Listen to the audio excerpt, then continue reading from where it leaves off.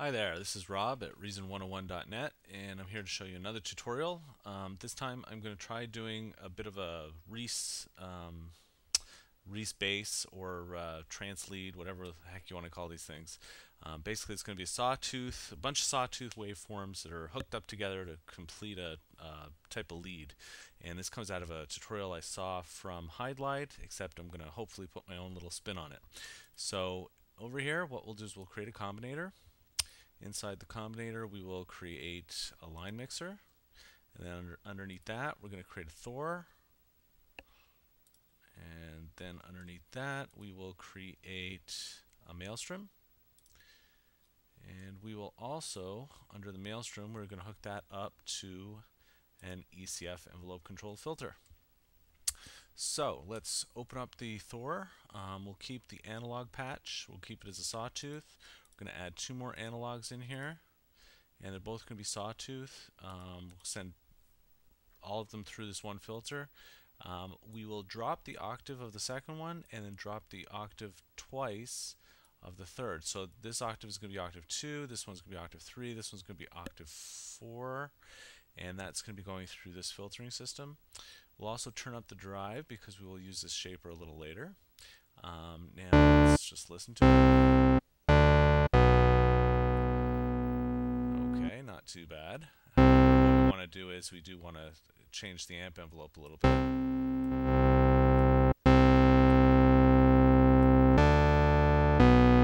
And then we want to detune it a little.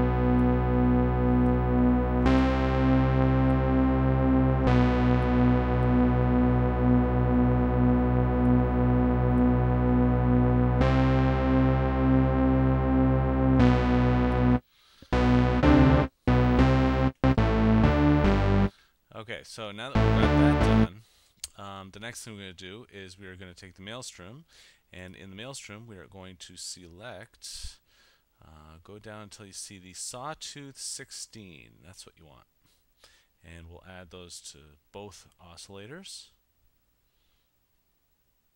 Uh, or did I miss it?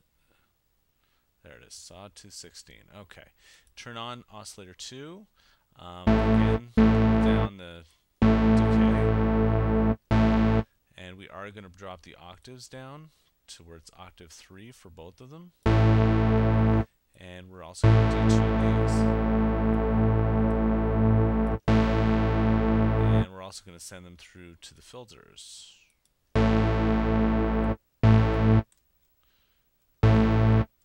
Okay. Spread in So there you got a pretty decent lead.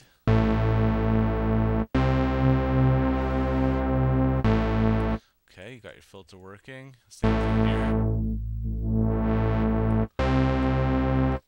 Okay, so now what we'll do is we'll just start to program a little bit. We'll take the Thor filter. Um, first one we're going to do, we're going to call this the frequency.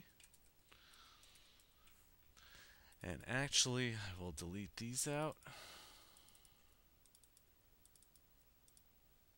Whoops. Okay, so the first one's going to be the frequency. So let's take rotary 1. We'll take it to filter 1 frequency. We're also going to select the maelstrom on this, or sorry, we're going to select filter 1, which is your ECF filter. We're going to take the frequency, and um, these are both going to be 0 to 127.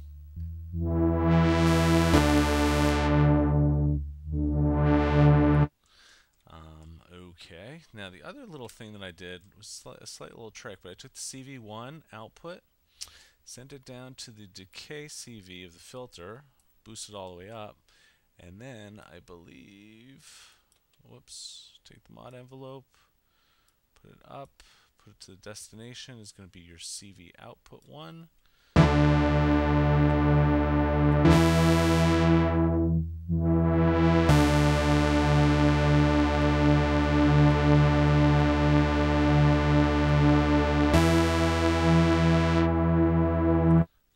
Gives a slight little wobble there, so we'll keep that. Um, now the other thing is, over here, what we'll do is we'll change this to be the resonance.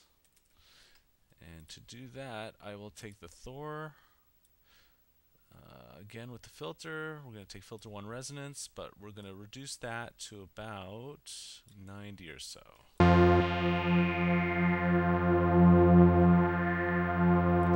Okay.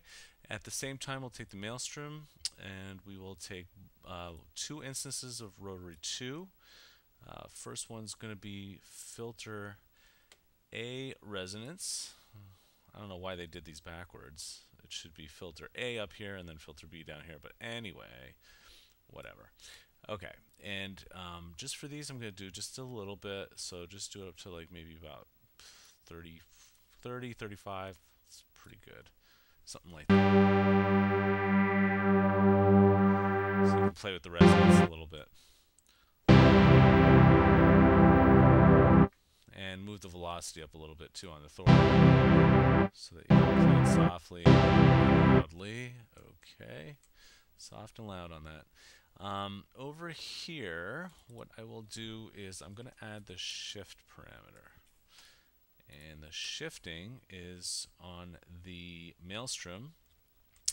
Uh, what this is going to do, it's going to shift both of um, these two shift knobs here for oscillator A and oscillator B. So back up we go. Um, we're going to take two instances of rotary 3 and we're going to take oscillator A shift and oscillator B uh, oscillator B shift and I'm going to set this to 0 and leave that at 63. So now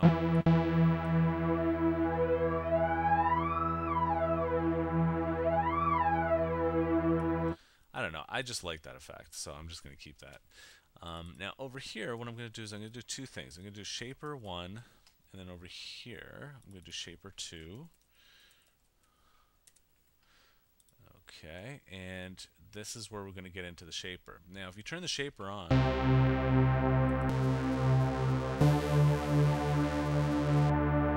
See how that affects the sound? It gives it that kind of overdrive. Um, so we'll turn to the Thor, and for button 1, we will go to the shaper, and we will turn it on or off. And the Maelstrom, we're going to do the same thing, except that I'm going to turn the Maelstrom's shaper amount to about 106 or so. It's going to be a sine wave, and we're just going to turn on the shaper here. So let's go Maelstrom, and then that's going to be for button 2, and then we're going to turn the shaper on and off. Okay.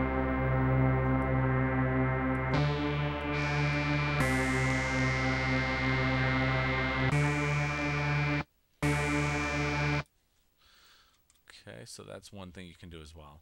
Um, might want to tweak the Okay, that's a little bit better. There we go.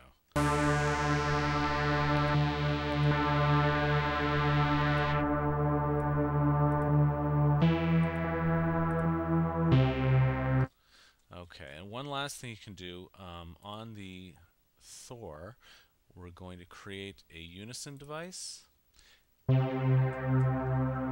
Give it a little bit of uh, some room. And then over here we'll tie this to the unison dry wet knob. So let's just select the unison and go to the um, rotary 4 and this is going to be the dry wet mix. So you can turn it off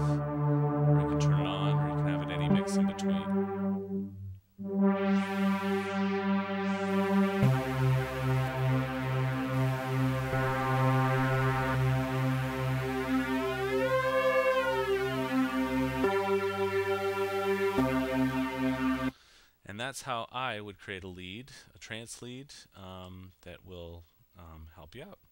Hopefully you find this interesting and uh, if you want, if you visit my site or if you're already on there, because I'm going to post this video on there, um, you will have this available to download. Um, what I call this is Reese's Pieces. That's the essence of it.